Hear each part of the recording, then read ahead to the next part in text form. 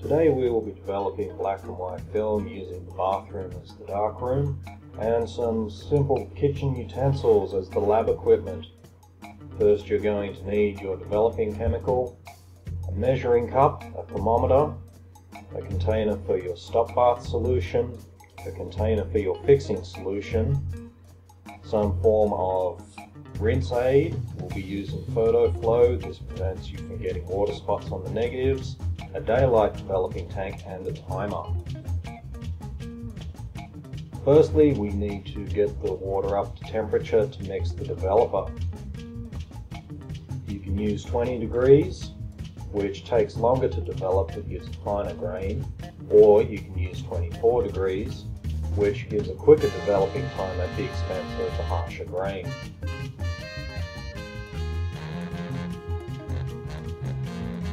Now we're putting 200 mils of water into the measuring cup. Then we will add 50 mils of the Ilford Ilfotec DD-X developer.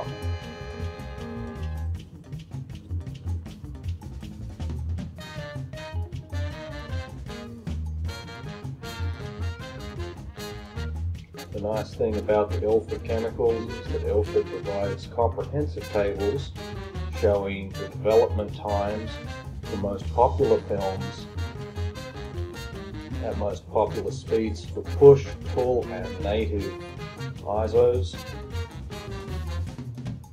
As well as their development times at 20 and 24 degrees.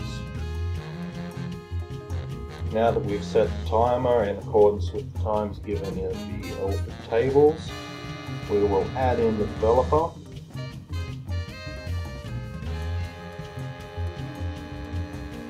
On goes the cap.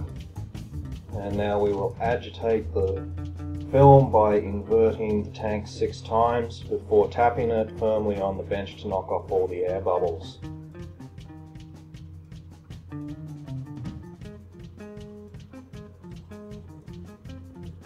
When developing black and white film, it is a one minute gap between agitations. So we've sped up the process here.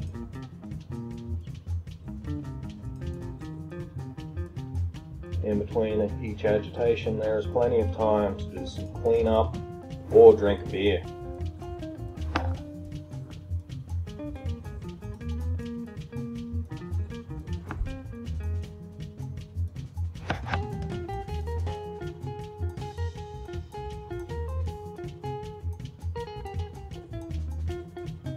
The Ilford developer is a single shot type developer, so once the developing time has elapsed, we're going to be pouring out the chemical into the sink, and then we will add in the stop bath. The stop bath stops the development process.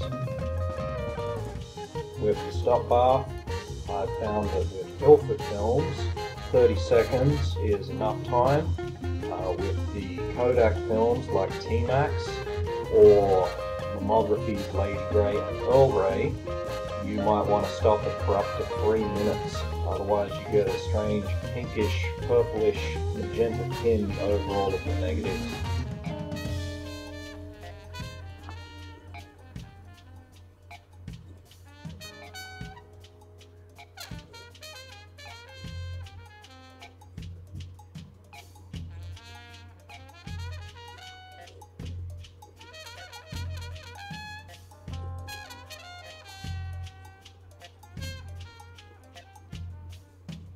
Now that our developing time is almost up, we can start pouring out the developer.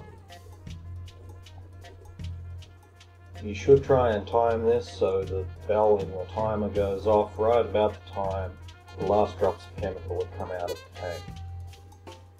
Now we can add in the stop bath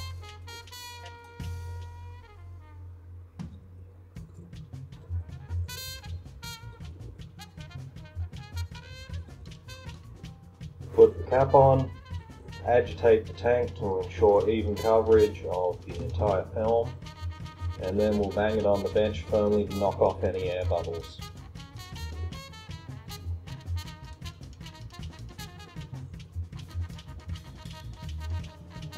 While the film's soaking in the stop bath, we can get the fixer ready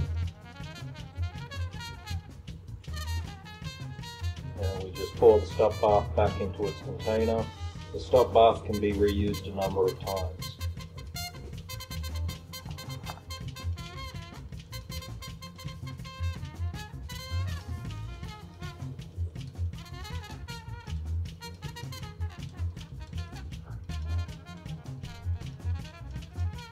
Now we add in the fixer and then we will wind up the timer for 3 minutes. With Ilford films I find that 3 minutes is enough time for the fixing process but again if you're using Kodak T-Max films or the Lomography black and white Lady Grey or Earl Grey you might want to fix them for up to 6 minutes to get rid of that magenta tinge.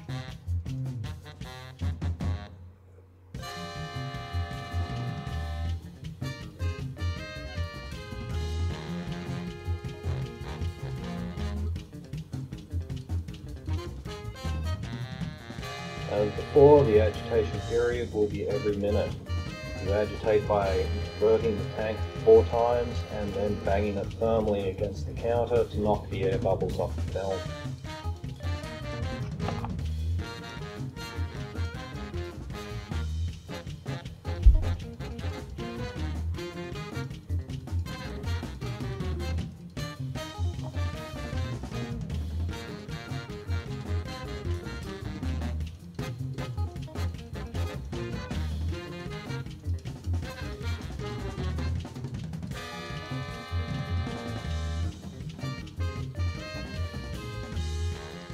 Now that the time is up, we pour the fixed bath back into its container and then we can start with the final rinse process.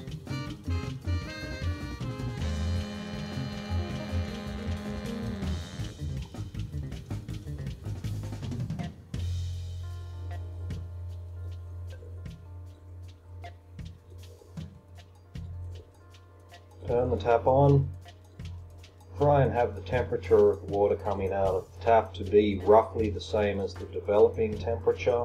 So if you use 20 degrees, aim for 20 degrees. If you use 24 degrees, use 24 degrees. Fill the tank, invert it 5 times, dump it. Refill the tank, invert it 10 times, and dump it. Then refill the tank a final time and invert it 20 times before dumping it. Now we'll be adding the PhotoFlo for a final rinse. I like to dip my finger into the PhotoFlo and then let the water run over my finger into the top of the developing tank. Now we remove the top of the tank,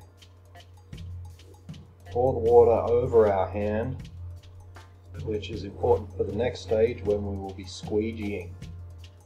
Now we can remove the film from the spool and you can see that the negatives have turned out.